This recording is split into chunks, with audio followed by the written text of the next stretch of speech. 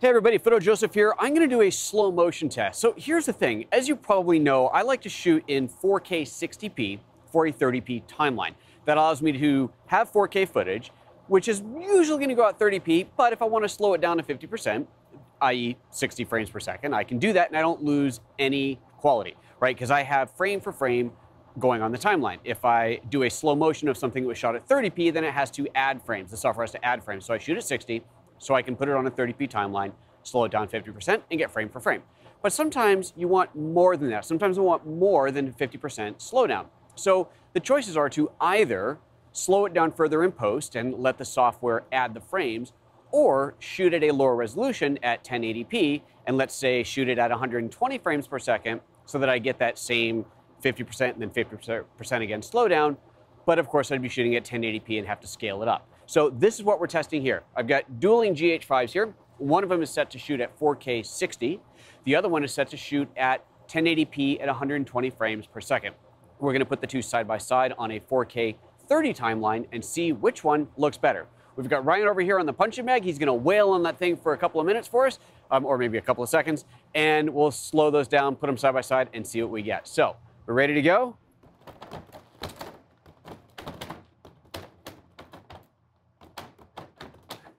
This first shot is the 60p clip on the 30p timeline. This is how the vast majority of my 60p footage gets seen on a 30p timeline. No changes to the shot. We're basically looking at every other frame that was captured. So we're seeing it play back in real time.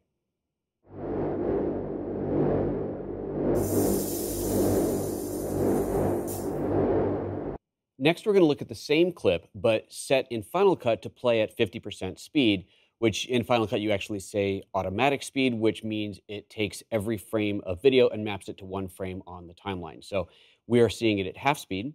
We are also looking at every single frame that was shot. So this is the advantage of shooting 60p when editing 30p. I can do a 50% slowdown, but have perfect frame for frame capture and playback.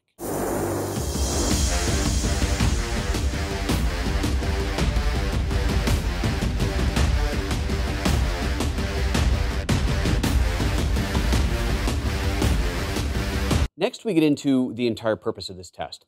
I'm going to take that same 4K 60p shot and slow it down again, slow it down now to technically 25%, so that we are not only playing back every frame on the timeline, but actually inserting an extra frame. So we're going to be playing it back as if it was shot at 120 frames per second, which of course it wasn't, it was shot at 60. So Final Cut is going to have to add a frame in between each one.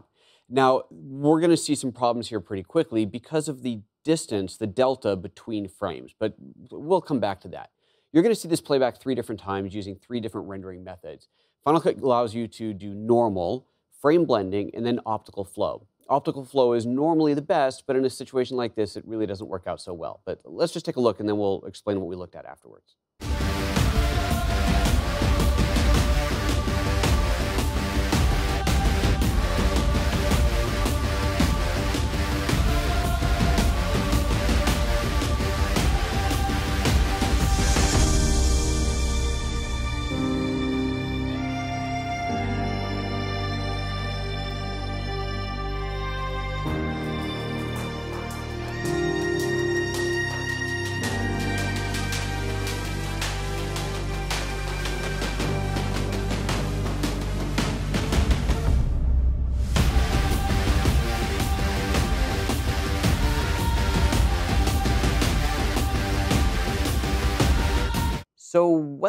Just happened? What did we see here? Well, some of you probably knew this was happening, as I said in that note earlier. You knew exactly what was going to happen here.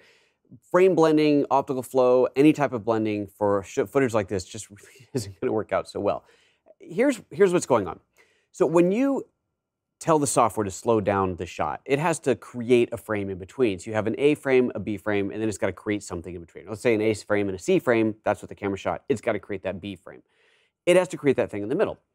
If there is a little bit of movement from frame to frame, that's not a big deal, right? So let's just say that this camera is moving across the scene. And one frame is here, and then the next frame is here. Well, that in between isn't very much of a calculation. And if there's motion blur, which we normally would get when we're shooting video, we have some kind of motion blur, it's even easier because there's already this blurry smear of this thing moving here, and then it's a blurry smear here, so creating that blurry er, smear in the middle is not that big of a deal. However, when you have motion that's so fast that your object goes from here in one frame to here in the next, the in-between frame eh, basically has to be completely created from scratch. So depending on the mode that you're using, you may see a blending of multiple frames or you may see the software trying to create a whole new frame. So let's take a look at some of the frames frame to frame and take a look at what we actually just saw here. First, let's go back to the original shot. As I go from frame to frame here, you can see that there's quite a bit of movement between two frames. So that is what the software has to calculate the difference between. So now let's look at some different ways that the software actually did that. First, we have normal speed ramping, which basically is just doubling up frames. It hasn't done any type of interpolation. So you can see here we have one frame two frames, those are the same, and then three, there's another new frame, and then four is the same as three, and so on. So all it's really done here is taken every frame and just duplicated it. So this isn't doing anything except filling the gaps with the previous frame. Next up is frame blending. Now frame blending is taking two different frames and blending them together and almost like as if there was a cross dissolve between them. Definitely not ideal for this situation, but it is better than just duplicating the previous frame. Then we get into optical flow. Now, optical flow usually is really, really good, but you can see here that it is doing all kinds of weird things where it has tried to create a frame that didn't exist, and it just has all kinds of strange artifacts in there. So, what would make this actually work? Well, one of the things I didn't tell you is that I actually shot this at a very, very high shutter speed. I was actually shooting shutter angle. I think it was 11 degree shutter angle, but it's super, super high shutter speed so that every frame of video is rock solid sharp. It's really, really tight, sharp shot. I didn't think that through very well because when you're doing frame blending, it actually is beneficial to have some blurriness to the frames, like I was talking about earlier, which I don't have here. So this really didn't work out. Now, had I shot it at a shutter angle where there was a bit of blur in between, I think this would have turned out a lot better. But before we get down that path, why don't we take a look at the 1080p footage and see what that looks like. So the first shot here will be the 1080p footage playing back natively unscaled, so you're going to see it smaller on the screen. However, this was shot at 120 frames per second for a 30p file. The camera has already done the retiming, so we are seeing frame for frame on the 30p timeline playing back from 120 frame per second shot.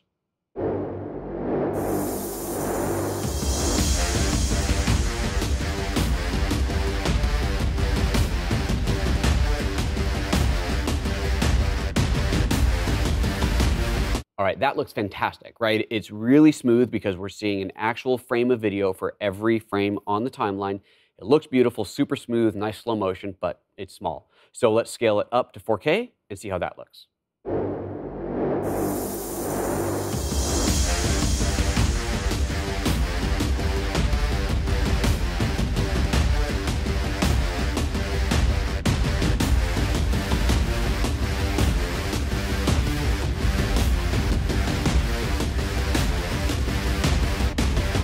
Not too shabby, right? That's looking pretty good.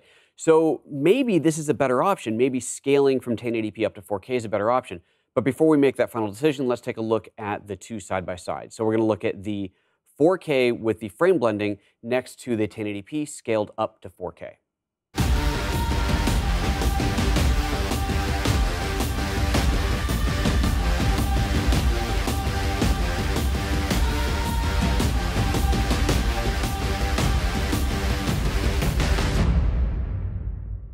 Well, the good news here is that the 4K is definitely sharper, but with that weird frame blending that we saw earlier, it clearly hasn't worked out very well. That 1080p shot looks nice and smooth, but it is a little bit softer. Now, here's where you've got to decide what's more important. Is it more important to have that really smooth, perfect, flawless slow motion, or to have the shot that's really sharp? You can't have both, at least not with this configuration. So right now I've just done this frame scaling, this uh, scaling from 1080p up to 4K on the Final Cut timeline. I know that there are third-party apps that will do scaling that are supposed to be better, so maybe you can get better results with other software, uh, third-party apps, plugins, and so on to, man- to give you a little bit better scaling. Also, maybe I could just add a little bit of sharpening in here. I haven't done anything other than scale it up in Final Cut, so we possibly could get that a little bit better. Also, we could possibly get a better 4K result by, as we talked about earlier, doing a slower shutter speed so we have a little bit more motion blur, giving the software something more to work with. So I think at this point, if I'm shooting something that's really high speed action where I want that really crisp motion, I'm probably going to shoot it 1080p.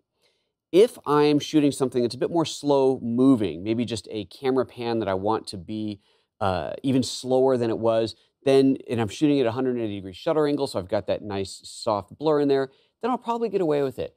But if I'm doing something where that beautiful slow motion is most important, probably gonna go for the 1080p. Shoot it at that 120 frame per second or even more, because you can go higher on these cameras and get something that's really, really pure slow motion and maybe just add a little sharpness or something else to try and get a little bit more clarity out of the shot.